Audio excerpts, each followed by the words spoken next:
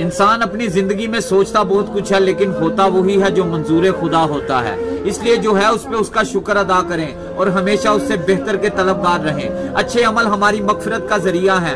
इस फना हो जाने वाली दुनिया के चक्कर में अपनी आखिरत बर्बाद मत करें। इंसान इंसान को नेकी का बदला नहीं दे सकता, लेकिन एक बात याद रखें, इंसान की नेकी कभी रायगा नहीं जाती, नफीस भाई, और इंसान दौलत से दुनिया खरीद सकता है, लेकिन सकून और खुशी नहीं।